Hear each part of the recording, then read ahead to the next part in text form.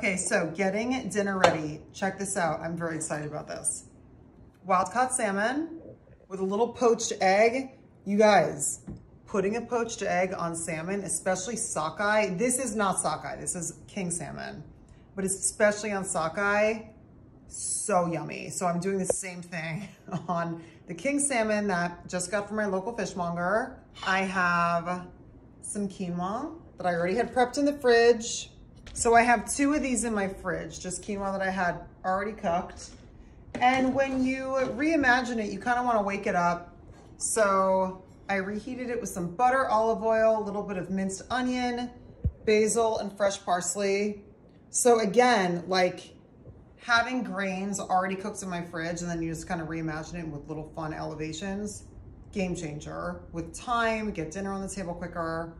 These I had prepped. I reheated them with a little bit of just sea salt and um, olive oil. Salad. So dinner's basically ready.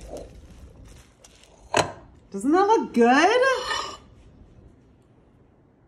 Cheers, you guys.